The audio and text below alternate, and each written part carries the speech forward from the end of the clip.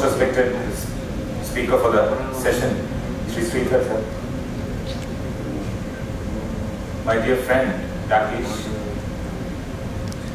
Honorable Council Member, Sri Murthy sir, Sri Dombeji, Vijay, my good friends, professional colleagues, waiting for the wonderful session which is in, waiting for you. Good morning to all of you. Last two days, for about four five days, I was in Chennai. What I do in the morning is to look at the sky and see how it is. Most of the days, I carry a you know 50-50 uh, you know feeling that okay it may or may not. But today it is very sunny. So therefore, I'm happy. I'm happy. I'm happy beyond explanation. Good morning, uh, sir. Good morning, Ramesh sir. Sri Gopalakrishnan is the was the president of our institute. So we have we have been discussing in this session. We have been dis discussing about the changes in the business landscape and how to empower our future-ready financial finance professionals. So we've been one thing which we have seen in the last deliberation is you should always expect the unexpected. The black swans is going to come to our life. Is going to be repetitive in nature. We never thought there will be a, uh, you know, this sort of calamity in 2020. 2000, I still remember one of the greatest uh, speaker on budgets came to Cochin in 2019 and they said, lucky China got corona, we are safe from corona. And he's number one lawyer come chartered accountant, senior lawyer. He said, luckily China got and we didn't get, so we are, our economy is going to go up. So we cannot predict friends. We cannot, we just cannot predict what is going to happen next moment, next day. Therefore, what we are supposed to do, there are certain things which we should do. We should empower ourselves. I always, uh, people used to make fun of me, when will you stop studying?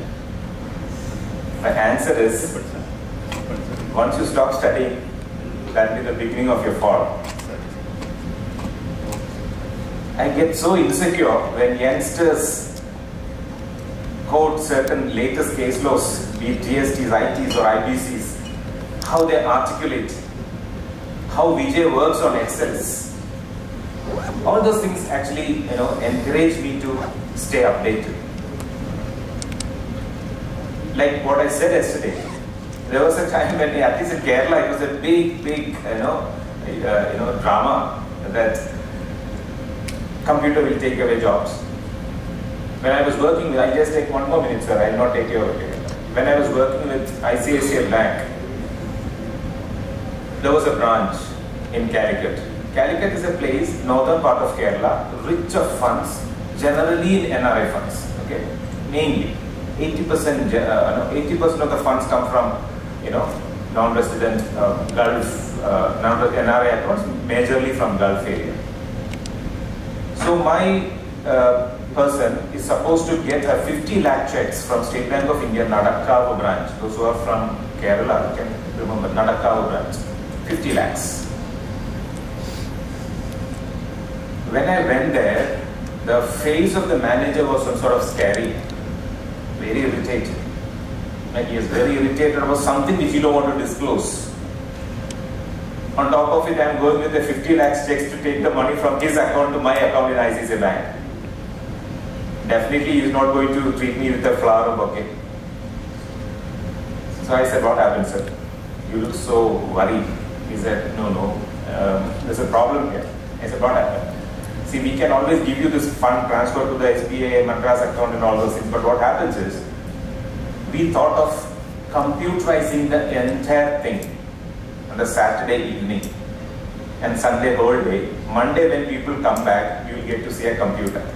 This was not properly conveyed to the staff and the staff dismantled the entire computer. Now the same staff, they will not work if there is no computer. So therefore, that was the uncertainty those days and now we can, just a you know, change of event. So what we are supposed to do is empower, empower yourself. You need to upgrade yourself. attitude to change. And, and according to me, if we feel that, okay, I've achieved enough, enough is not enough. I always look at, uh, in, in globalization, sir, whenever we sit together or have a coffee together, you always have some idea. This time he has given me a, triggered an idea which I thought I'll do it in SIRC. Thank you so much for the idea. It will definitely bring in a lot of momentum in the practice space. So I'm just, for the time being, I'm just going to cut, uh, you know, wrap up my speech, uh, my address. Thank you so much, Sridhar for coming down. For those who are not, I'm sure all of us know, O&M is one of the major players, one of the major players in advertising and brand promotion. When I was doing my college, just came out of the college, one of my close friends joins O&M. O&M in 1991 used to pay a dividend of 400%. But 30 years back, they used to pay, pay a percentage, I mean, dividend of 400%. Very closely held those days. I don't know what latest dynamics, I don't know. Thank you so much for coming down, sir and we look forward for an enriching session. Friends, believe me, this is going to be a lot of, there will be a lot of takeaways.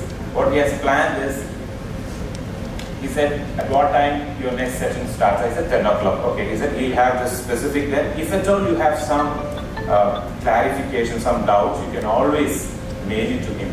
Or you can mail it to SIRC, we will take it forward. Okay, whatever you have done. Over to you, sir. Thank you so much. Thank you for your nice welcome, uh, Chairman. I request that our Chairman honor uh, R. Sridhar Garu the small memento. So what can we give back except love and as a token of our love and affection is a small memento from SIRC.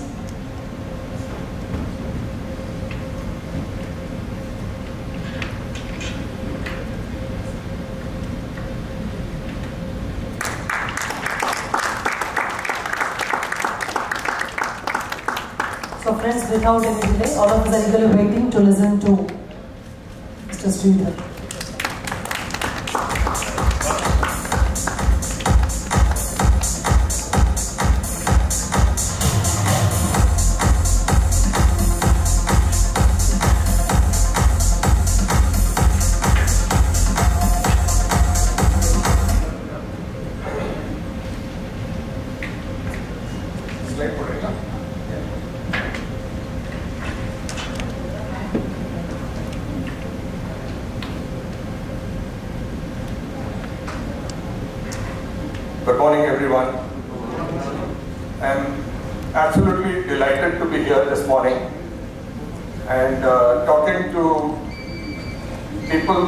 Manage costs, right?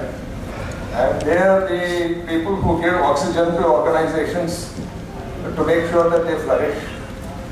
And I was talking to my wife that I was going to go and talk to a bunch of uh, set of uh, cost accountants. She said, you don't know how to manage money, what are you going to talk to them about? So let me tell you a secret. I used to be in the advertising business. There was an agency called Ogilvy and Mather Advertising. I worked there for 25 long years and I was a director on the board. But my job was all to do with clients, you know, help them grow their brands, etc. But my money was managed by uh, fantastic accounts people.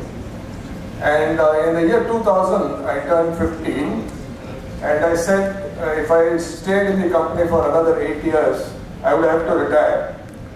And I said that I don't believe in retirement as a concept. In India, there was no retirement. Okay? Retirement came from Germany because they wanted to make space for young people to get jobs so that the, uh, the, older people vacate space for them. That's how retirement came. So when I turned 50, I said if I stayed in the company for another eight years, I'll have to retire. So I would step out now itself. Then we started on our own. And the other thing that I said to me is that I don't want to set, another large organization because the pressure on overheads will very often make you take decisions that you're not comfortable with or you don't wish to take those decisions. So there are only four people in my company. I do all the client facing work. My wife manages all the money and she gives me money anytime I want and that is the only deal. Right? Then I have one accountant who manages all the accounts passes and then we have one driver so that you know I, I I, I drive, but I get very distracted when I'm driving. It's a risky proposition, right? So I have a driver. This is all I have in terms of an establishment. But what is the what is the asset that I have? The asset I have is the ability to think differently. Okay? So when uh, Shankar sir spoke to me, um, and I was, he, he obviously knew about my background, and I was talking about thinking differently, and then he said, no, I, I want you to talk about how to empower yourself in a fast-changing world. This uh, did two things for me, sir. One is that I could not use any of the earlier speeches and then come and give it to you here. Right? It made me think. It made me uh, create a presentation which is completely tailor-made for this audience. Okay? But I hugely enjoyed this. Because this question of how to empower yourself in a fast-changing world is an extremely relevant question. The fast-changing world, part of it is known to us. But how do I empower myself is the question, right? Uh, is the one slide? Okay, thank you. So when do we feel powerless? We all feel powerless sometimes, you know, right? There is a powerlessness when physically when we are exhausted. That is okay. But mentally, there are times when we feel powerless. The most common way people give up their power is thinking that they, they don't have any power.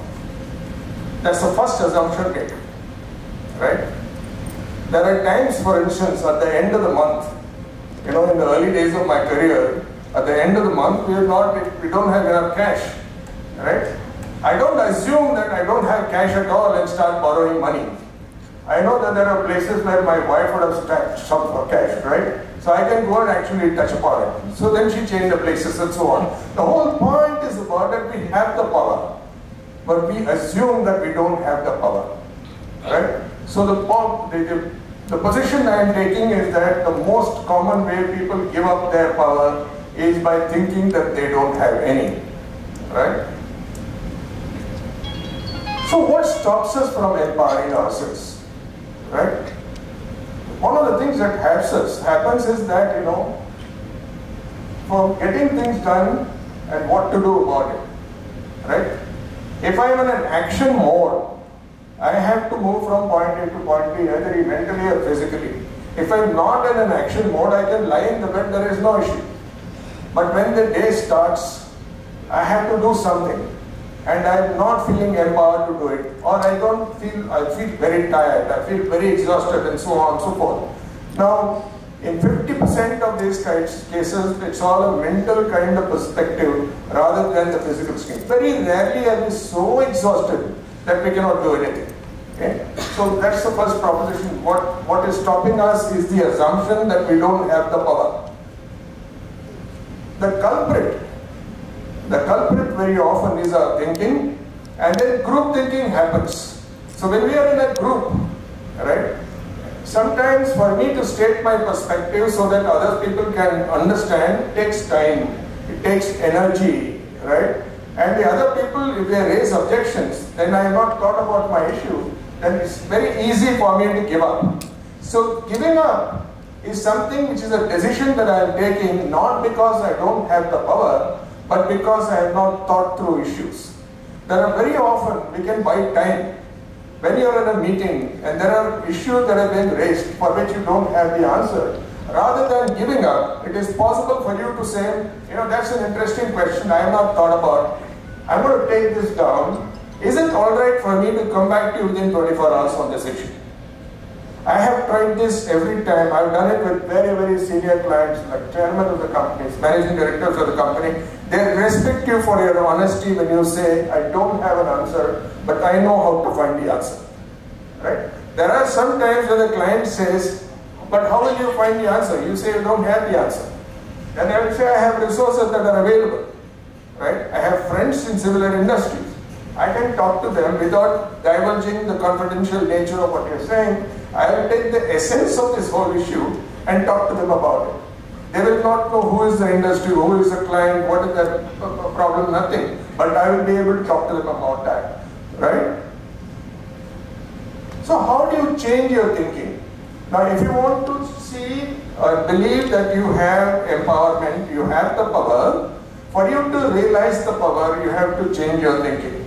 It is like saying that when I'm driving a car, right, from neutral I go to first gear, right? Now, if I have to move fast, I have to change the gear. If I don't change the gear, I can't really go faster than first gear, and then it's actually going to create a lot of uh, problem for the engine, lot of problem for the car, etc. I have to change the gear and I have no choice. So it is in life.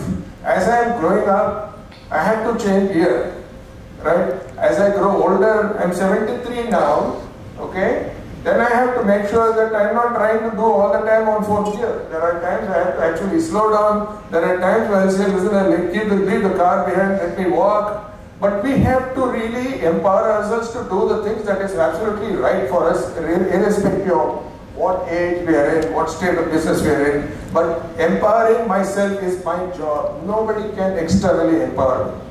If I go to a guru, for instance, he will help me understand what are the confusion that is in my mind. You know, he'll help me get clarity. But from that clarity, I must get the power, and from that, I must be in a position to act. So let me give you an interesting example. Some time ago, Bombay is city of traffic jams that you know. I was going to uh, the airport and there was a huge traffic jam as you see on one of the roads, okay? And uh, I told my driver, that I'm losing time, do something. So he, he knew that he went across and then he came back to me saying, I don't think it's going to clear for another two hours.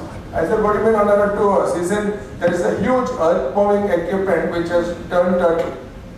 Okay? And they need a special crane to lift it and so on. This traffic is not going to move. Now, I can sit there fretting and fuming and I can sit there saying that I'm going to miss the flight, this, that, etc. Then I noticed that there was a whole lot of two-wheelers moving on the side.